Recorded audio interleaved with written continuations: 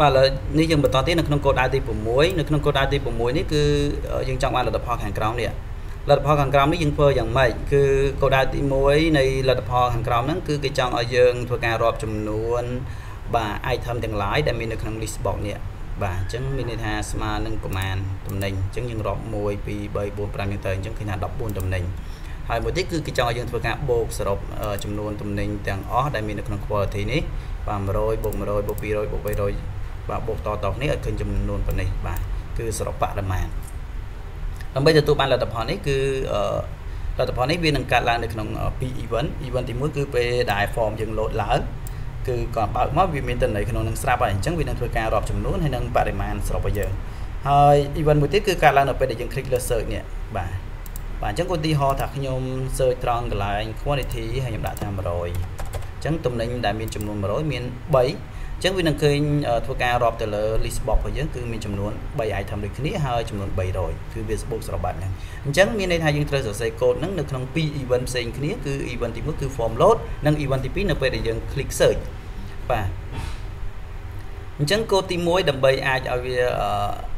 បាទអាចឲ្យវារាប់អានេះបានយើងធ្វើម៉េចហើយដើម្បីវាបូកអានេះយើងធ្វើម៉េចបាទ អញ្ចឹងអឺ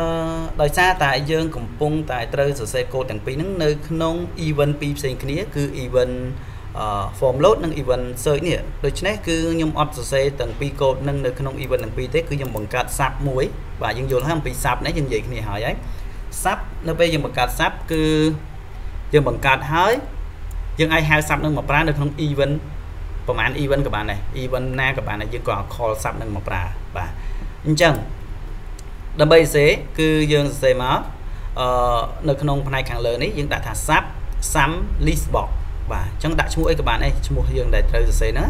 បាទហើយ enter មកវាបើកមុខកញ្ចក់ឲ្យយើងហើយហើយយើងត្រូវសរសេរកូដទាំងអស់នេះចូលបាទកូដទាំងអស់នេះចូលកូដដើម្បីធ្វើការរាប់ចំនួនជួដេកទាំង lain ដែលមាននៅក្នុង list box គឺខាងលើនេះ គឺយើងសរសេរមកបាទសរសេរបែបនេះ អញ្ចឹងសេបែបនេះគឺអាស្រ័យទៅលើ text box យើងជាក់ស្ដែងណាអញ្ចឹងយើងមើលទៅលើ text box របស់ខ្ញុំ text box ទី1នេះគឺយើងមានឈ្មោះថា text box count item text box ទី2គឺឈ្មោះថា text box អឺមើលសិនបាទ total text sum quality បាទ text sum quality បាទអញ្ចឹងយើងមាន text box ហ្នឹងអញ្ចឹង text box នេះស្មើអីគេដើម្បីអាចរាប់បាន គឺយើងឲ្យ me សេមក me.textbox ខ្ញុំសេឡើងវិញចឹងណា me.text count item ស្មើនឹង me.list all item របស់យើង .column count បាទអឺសំទោស list count list count គឺរាប់ជួរដេកបាទវារាប់ជួរដេកបាទអញ្ចឹងខ្ញុំ view មកបាទអញ្ចឹងឃើញថា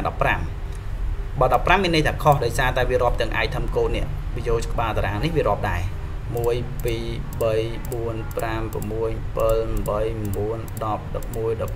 12 13អញ្ចឹងខុសណាអញ្ចឹងតែ14ទេដោយសារតើនៅយើងមាន14ហើយក្បាលតារាងមួយទៀតវាឡើង15អញ្ចឹងដើម្បីវាត្រឹមត្រូវគឺកន្លែងនេះទាំងអស់គ្នាត្រូវដក1ចេញបាទយើងដាក់ដក1អញ្ចឹងទៅបាទវារាប់យកមានថា text box របស់យើងហ្នឹងចម្លើយយើងគឺស្មើនឹងបាទប្រវែង list box នេះទាំងអស់ដក1ចេញបាទអញ្ចឹងគឺ14ឃើញទេ បាទដើម្បីមួយទៀតគឺកូដដើម្បីឲ្យយើងអាចបូកសរុបនៅចំនួន quality ទាំងអស់នេះតគ្នាយកនេះបូកនេះបូកនេះយើងឃើញសរុបទាំងអស់បាទដើម្បីវាបូកតគ្នាយើងមានកូដមួយគឺទាំងអស់គ្នាអាចសរសេរទៅគឺកូដប៉ុណ្នេះបាទអញ្ចឹងយើង dim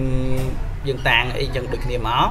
ប៉ុន្តែអ្វីដែលជាប្រែប្រួលមានថាកូដនេះគឺទាំងអស់គ្នាអាចយកទៅប្រើគ្រប់កលៈទេសៈឲ្យតែយើងចង់បូកបាទ ចង់បូកអីគេបូកតម្លៃណាមួយនៅក្នុងជួរណាមួយបាទអញ្ចឹងអ្វីដែលប្រែប្រួលនៅក្នុងការកែកូដនេះគឺអឺបាទគឺឈ្មោះរបស់ control បើយើងនៅក្នុង form ណាផ្សេងទៀតទាំងអស់គ្នាមាន list box ឈ្មោះផ្សេងយើងកែតែឈ្មោះ list box ហ្នឹងមកក្រៅពីហ្នឹងដូចគ្នាទាំងអស់បាទនេះមាន .list box ចឹងមក បាទហើយកន្លែង column នេះក៏យើងកែដែរបើសិនជាបងប្អូនចង់បូកកន្លែង quality បាទចង់បូកកន្លែង quality អញ្ចឹងមានថា0 1 2អញ្ចឹងជួឈរកន្លែងនេះដាក់លេខ2តែបើយើងចង់បូក purchase price បាទចង់បូក purchase price គឺមានន័យថាកន្លែងហ្នឹងយើងត្រូវដាក់លេខលេខ3យើងចង់ដាក់លេខយើងត្រូវដាក់លេខ3ត្រូវអញ្ចឹងបាទហើយ next ចឹងមកហើយយើងសេតាមនឹងមកបបាទហើយនេះ me.textbox sub quality sum quality គឺជាឈ្មោះ textbox របស់យើងដែលនៅខាងក្រោមនេះ បាទនៅខាងក្រោមនេះបាទអញ្ចឹងយើងសាកល្បងសរសេរបាទសរសេរហើយយើងនឹងឃើញលទ្ធផលបាទឃើញលទ្ធផល នៅពេលដែលយើងសរសេរកន្លែងនេះហើយគឺយើងត្រូវហៅ sub មួយនេះមកប្រើនៅក្នុង event 2ដែលយើង event code របស់យើងគឺ event នៅពេលដែលយើងបាទនៅពេលដែលយើង load form load ឡើងបាទអញ្ចឹងយើងសេនៅក្នុង event form load បាទយើងចូលមកកាន់ event form load របស់យើងនេះបាទយើងដាក់នៅខាងក្រោមគេមកយើងដាក់ថា call sum list box បាទដោយសារតែ control របស់យើងឈ្មោះថា sum list box បាទអាហ្នឹងមួយហើយនៅក្នុង event មួយទៀតគឺ event អឺ click ទៅលើប៊ូតុង search មិនអញ្ចឹងណាបាទនេះលើប៊ូតុង search នេះបាទ event click បាទអញ្ចឹងយើងក្នុង event click ហ្នឹងយើងនេះ event ហ្នឹងឯងបាទវាមានកូដវាច្រើនមកហើយប៉ុន្តែចុងក្រោយយើងបន្ថែម call sum list box ហៅកូដនឹងមកប្រើបាទអញ្ចឹងយើងទទួលបានលទ្ធផលដែរបាទលទ្ធផលបែបហ្នឹង អញ្ចឹងសង្ឃឹមថាបងប្អូនអាចធ្វើបានណាអូខេអរគុណច្រើន